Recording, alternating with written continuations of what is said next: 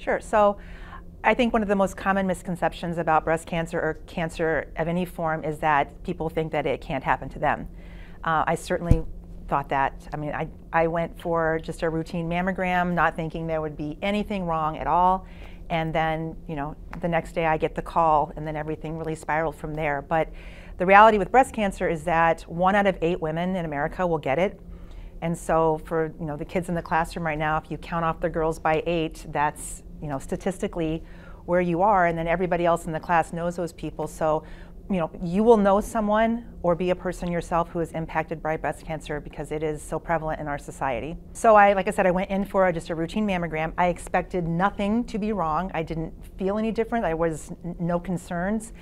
And when I went, um, I got a call, you know, the next day to come back in, and then for any woman out there who's ever gotten that call, it is like your whole world just sinks.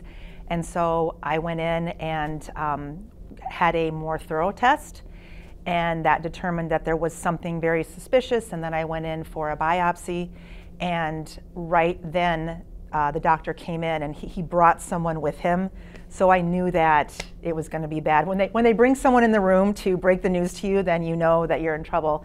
And the biopsy had detected that I had breast cancer. So there are many things that I realized going through this situation. And one of them is that that I'm a lot stronger than I ever thought I could be. I mean, you, you get to a point where you have to keep moving on because there is no choice but to just keep moving on. And so even though you know I wouldn't want to go through the experience again, I have grown so much. I've grown so much from just the strength that I was able to find in myself. And you know, to, to those people sitting out there listening, like you are so much stronger than you think that you are, and you can get through whatever you need to get through. That's for sure.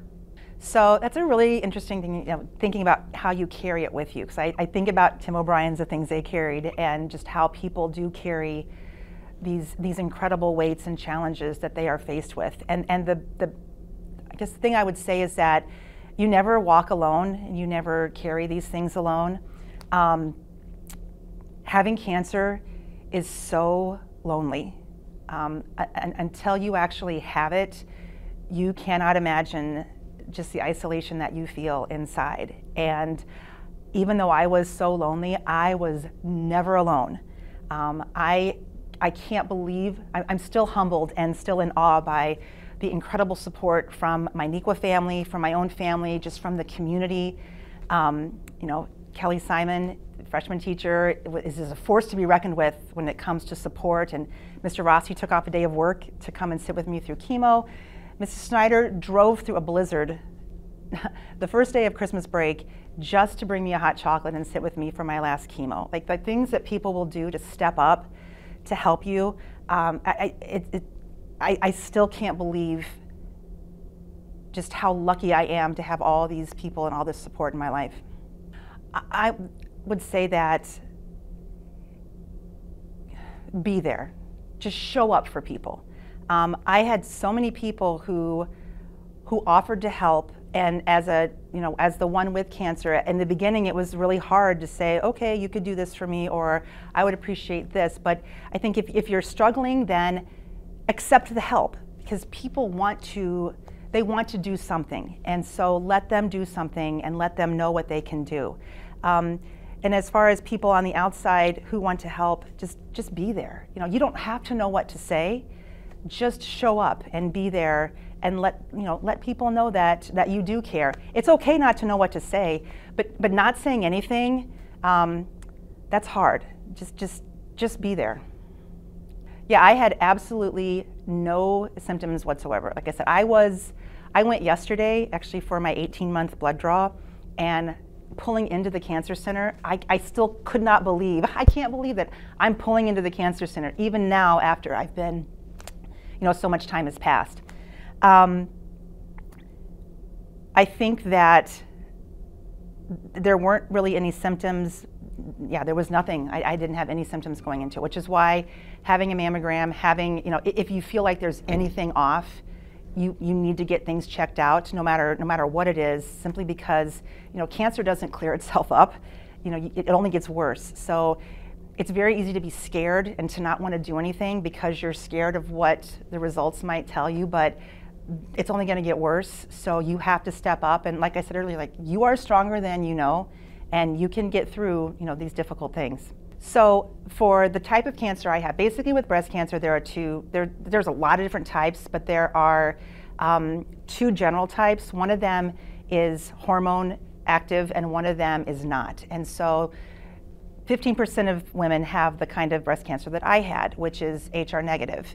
Um, and that means that, that starving it from hormones does not affect it. You have to go in and, and literally blast it, is how my oncologist explained it. So, you know, once I was diagnosed, the process of getting me into chemo, it went so fast. Within probably a week, I had a port put into my chest, um, and then within two weeks, I started chemotherapy. The chemo that I had is called adriamycin. It's called the Red Devil. So my infusion nurse had to actually wear a hazmat suit in order to administer it. Um, and it is a bright red color, but it like literally kills everything in your body. And so the first, I was on chemo for four months. My last time was the day before Christmas Eve. And um, so I did chemotherapy. And then as soon as that was over in January, I, I started this in September. And then in January, when I had my surgery, is when I had stopped. Something that's interesting is that when I, this is kind of uh, out of the way, but I just thought of this, like when I got the call saying that that there was something suspicious and I was going to have to go in for the biopsy, it was literally right before I was about to walk in to my sixth hour or my fifth hour um, AP English class to introduce myself on the first day of school. So I get the call. I saw where it was from. I'm standing out in the hallway, I have to take it. And so then the woman on the other end told me that I needed to come back because there was something suspicious. And then the bell rings and I walk in, hi, I'm Mr. Dabezic. And so, you know, talk about being a good actress. That was something that was, uh, was yeah. The hardest part though about being diagnosed with breast cancer was having to tell my kids. Um, because my, my father had just passed away from a very quick and aggressive, deadly form of brain cancer, and so that was our family experience with it. And then within a year, then I'm diagnosed, and so having to sit down with my children and tell them, um, and, and tell my mom that was the hardest part. Worse than going through chemotherapy was having to tell my kids. I, I think just be aware that that people want to help you, and you know you you we all have our own story and we all have our own cancer experience and, and people are going to say things and they're going to want to do things to help you and some of it is going to be awesome and sometimes it's going to be um, you know depending on how you feel you're not, not going to want to accept that help but, but you just have to know you're never alone in the fight. Um, there are there are warriors who are fighting with you in any way that they can and people are so good and they will take care of you and you just have to you have to let them.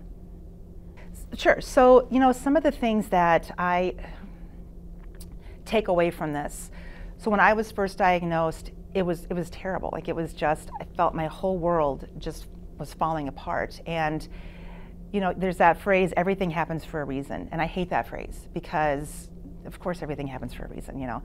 Um, but in hindsight, when I look back at my experience, number one, I'm glad it happened to me. Um, as opposed to any other woman, my daughter, my mom, anybody I work with, I'm glad it happened to me because I can handle it. Um, and it has made me such a better person coming out of this on the other side. Um, you know, as a teacher, I've been teaching for almost 30 years, and I, I, feel like I can empathize with pretty much every experience that my students are facing. But, but having cancer is very different from knowing someone who's had it. And it, it gave me this, this, I don't want to say edge, but it just gave me this whole new perspective to connect with students in a way that I never thought, you know, that I never thought possible. And connect with their parents who have, you know, I share my story on curriculum nights, and I always, every year since, and it's only been two, but, but I will have moms come up to me afterwards and, and share their stories with me. And so it's just, you know, everything does happen for a reason. And, and I, I think we say that because you want to find something good that comes out of something bad. Otherwise, the bad wins. but being stronger and being able to connect better with people and and being able to just feel this this sense of awe and humility for just the, the goodness of humanity like that really is something i never would have known unless i went through this experience now i, I don't want to go through it again but but it is something that um, you know that I, i'm glad to i'm glad to have put past me now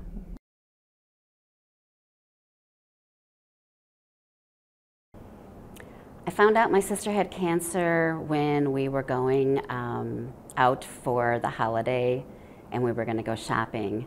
And she got a phone call while we were in the car and said she needed to take it. And it was the doctor telling her that her tests had come back and that she definitely had cancer.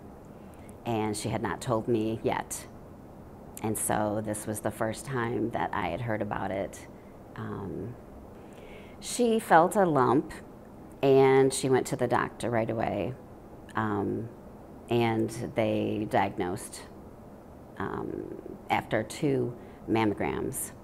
My sister went through a lot of treatments. She was diagnosed in 2017 and uh, the tumor was graded at a 3A, so it had already gone into her lymph nodes. So at that point, um, she had uh, chemotherapy. Actually, I think they did the radiation first to shrink the tumor, and then they did the chemotherapy afterwards. Um, the first time she went through in 2017, they thought they had a full, um, they thought they, that she was fully eradicated from cancer. And she had one full year where she was free from cancer and did not have to have chemotherapy after that, um, the cancer came back in 2019, and it was in her lungs. Um, she knew something was going on. She couldn't breathe as well as she thought she could. She was a singer. She was getting ready for her son's wedding. She was planning to sing at the wedding. Um, she was having difficulty with, with breathing, um, but she was afraid to go and find out what was going on. Um, so, right about actually like three days before the wedding she went and they found that she had cancer in her lungs and that she had fluid that was um, surrounding her lungs and putting pressure on them um, so they drained the fluid so that she could um, sing so she did sing at the wedding um, and as soon as the wedding was over she pretty much collapsed um, from the exhaustion and was in the hospital for two weeks. Um, and then she was in the hospital again for another two weeks. So I think that summer, the summer of 20 of 2019, she was in the hospital for a full month. Um, and it was, you know, she had a lot of um, pulmonary issues from, you know, the, from the cancer that were, and it was creating all kinds of um, fluid in her lungs it was the breast cancer that spread. So once, so they do tests to see um, what type of cancer it is, but it typically is the same. Um, but it can spread to other places, and so when it does spread to other places, they still call it breast cancer. Um, the, the, whole treatment process it was kind of surreal because, um, you know, you're, I was praying and hoping and trying to do everything I could to keep her spirits up um, trying to be the tough warrior, um, trying to help her fight. But at, at, at some point, you know, you realize that sometimes the, the strongest thing you can do is to let someone go. Um, so she had battled the lung issue in 2019. She was doing chemotherapy every three weeks um, for the rest of her life is what they told her. Um, she had to give up her law practice. Um, every three weeks, she had chemotherapy, and for one week, she would be completely sick and not able to really get off the couch. She felt ill, you know, had a lot of side effects. Um, so she had two good weeks, basically, every three. Um, so it, you know, and this then became um, during COVID, so then, you know, it was even harder because we were afraid to get her sick. Um, so I didn't get to see her as much. Um, but I went over to her house every Tuesday um, and I would make dinner for her family and for her and um, kind of celebrate with her. And then Wednesday she would go in for her treatment. And then I wouldn't see her again until the next, the next time, you know, three weeks later, basically. Um, that, you know, so she continued on chemo treatment. Um, she, every three weeks until 2021. In 2021, she started to have seizures and uh, they found that the cancer had gone to her brain. So in August of 2021, she started, um, she had 10 days of radiation, and uh, the radiation was, um, was extreme. She, um, it, it, was really hard on her body, and um, it was almost, um, I would say it, you know, that was almost not just, it didn't, she was, she was very strong, but um, she was in the hospital because of the side effects from the, from the radiation. Um, so she had the radiation in August, um, and that didn't seem to do too much. So by December, she had you know, suffered more se- another se- another seizure that was pretty severe, uh, and they found that the tumors were growing even larger. Um, so she continued to, you know, to fight it, um, but eventually um, did did succumb in March. Um, so in March of 2022, she stopped treatment because she was continuing, she started to have more seizures. Uh, the tumors were growing, and um, she was no longer able to use her legs. Um, and we just, um, it was just, it was a lot like torture to, to say, you know, that she would go through anything more. So she, um, she did not want to make that decision. Her husband didn't want to make that decision. You know, we're always looking for, you know, what else can we do? What else can we do? Um, but the doctors agreed that, you know, to do anything else would just to just to prolong, you know, just to prolong her agony would prolong her agony. That that the outcome was not going to be favorable. Um, I think I think it's important to understand that you know if the cancer is found at an early stage, it, it is treatable. Um, but once the cancer is, you know, um, when it mis- once it mis- metastasizes, that um, it, you know the chances are that it is not not going to go away. Um, and so when people ask, you know, if you know there's an end to the to the treatments, um, there's there's not. So, you know, try to. I don't know. I'm I, I'm not sure how I gotta get this message straight. Um, what's the message that I want? Is so I there's there's this I think there's this conception there's misconception that you know people wearing pink are fighting cancer you know and and it can be won. There comes a point when it can't be um, no matter how hard you fight. Um, once it met- metastasizes, um, you know, it's just a matter of time. You know, you can have a, a lot of quality to your life. Um,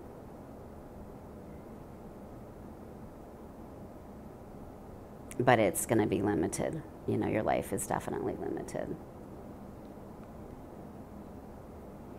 I think um, it's important for people to, you know, to do the self checks, but I think it's important for everybody to know that, you know, a person, especially with breast cancer, um, once it's been initially diagnosed, you know, there sometimes people get a lot of support, but that support needs to continue because sometimes people have treatment for the rest of their lives and it can really affect the quality of their life. Um, and so, Um, I felt I felt like I was walking alongside my sister, um, and we walked together for five years. And um, I think when you walk with somebody, you know, a piece of you definitely dies, um, and then a part of you is, you know, kind of having that survivor's guilt, maybe, where you feel like you need to take um, take stock of what you do have and appreciate it more and try to live your life more fully, um, kind of even on behalf of that person who no longer is able to. Um, I think I think people I think people need to remember that everybody reacts differently to interventions. So, you know, one person might have a better time with chemotherapy than another person. So each person is going to react differently, and sometimes the chemotherapy is is you know the chemotherapy, the radiation, all of these treatments are really you know just really hard on the body, and um, you just never know what what side effects will come from it. So um, appreciate you know the time that you have with your loved ones, um, and be you know gracious to them. A lot of times they look on the outside like you know kind of normal, but on the inside they're confused or tired or you know anxious, and you so you just never know. So try to be just try to be you know gentle and kind and So my sister was um,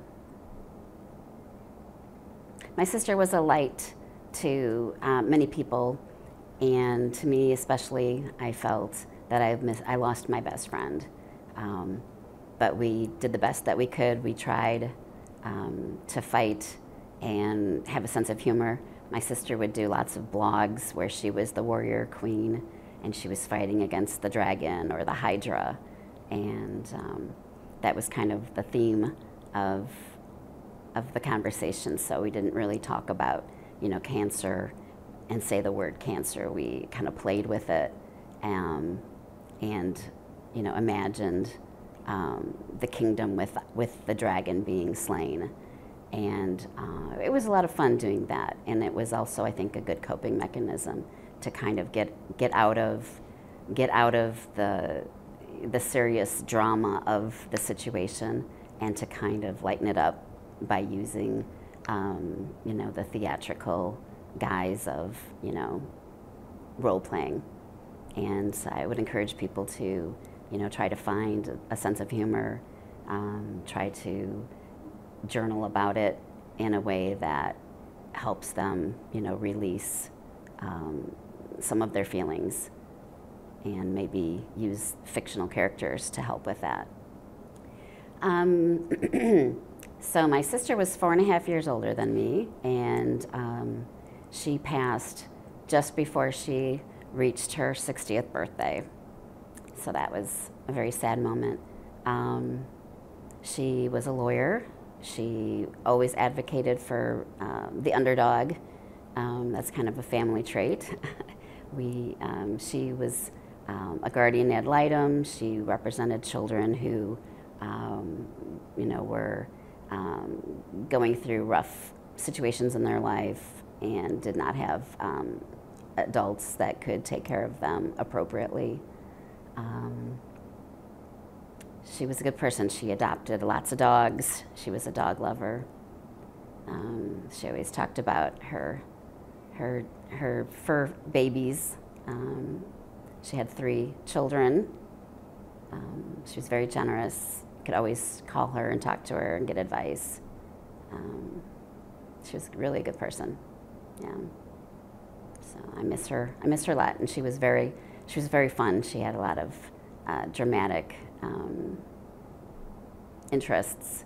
She loved role playing. She loved going to the uh, Renaissance Festival, dressing up for that. Um, yeah, she was she was an excellent cook. She always made really wonderful things. I was always the one who cleaned up the kitchen. she would cook. so I had my role My role was to clean, she was the cook. So.